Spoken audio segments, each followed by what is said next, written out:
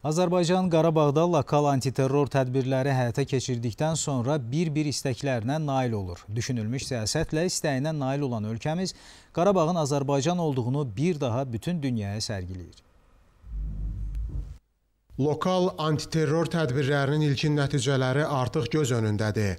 Reinteqrasiya ilə bağlı iki görüş, erməni sakinlərə göstərilən humanitar yardım, elektrik enerjisi ilə təminat, separatçıların tərk silah edilməsi və suverenliyimizin tam bərpası.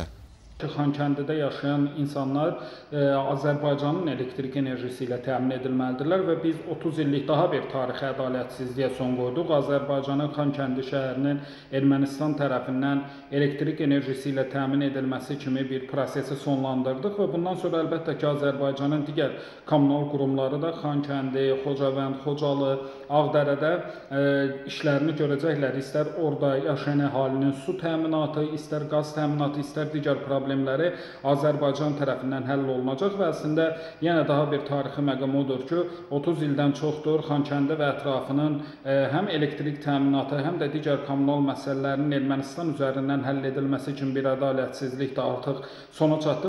Ancaq erməni xisləti yenə də özünü göstərməkdədir. Çarəsizlikdən qəsdən yanğınların törədilməsi kimi məqamlar ağ bayraq qaldıranların iç üzünü bir daha göstərir. Xankəndidən olan millət vəkili Tural Gəncəliyev bunun ilk belə hal olmadığını, beynəlxalq təşkilatların nədənsə bu əmələ göz yumduğunu ifadə edib.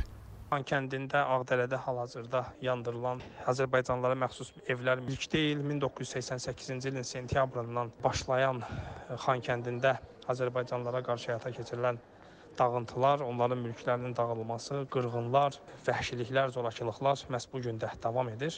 Bu sanki beynəlxalq təşkilatlar, Ermənistanı dəstəkləyən lobbi qrupları, siyasətçilərin də görməzdən gəldiyi bir məsələdir. Çünki bütün günü səhərdən axşama kimi insan hüquqlarından, ermənilərin hüquqlarından dəm vuran həmin o mərkəzlər, həmin o qruplar, şəxslər bir dəfə də olsun ermənilər tərəfindən Azərbaycanlıların evlərinə od vurub yandırıldıqlarını e, heç qınamırlar. Bununla bağlı e, Azərbaycanlıların hüquqlarının pozulmasını dilə gətirmirlər.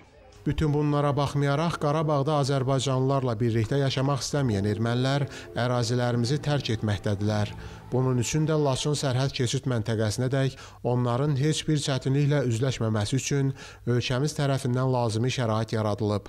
Lakin Qarabağda qalmaq istəyən ermənilərin reinteqrasiya prosesində yaxın vaxtlarda digər vacib addımlar da atılacaq. Prosesin tam normal sivil şəkildə baş verməyi üçün həm də bu sülh məramları cavabdehlik daşıdığının fərqindədirlər və hesab edirəm ki, artıq Azərbaycanın yaxın günlərdə erməni cəmiyyətinin inteqrasiyası ilə bağlı digər görüşlərdə e, başqa məsələlərin də müzakirə ediləcəyi e, artıq aydındır və yavaş-yavaş Azərbaycan vətəndaşlığına keçmək istəyən ermənilərin şəxsiyyət vəsiqəsi ilə təmin edilməsi və digər məsələlər də həll ediləcək.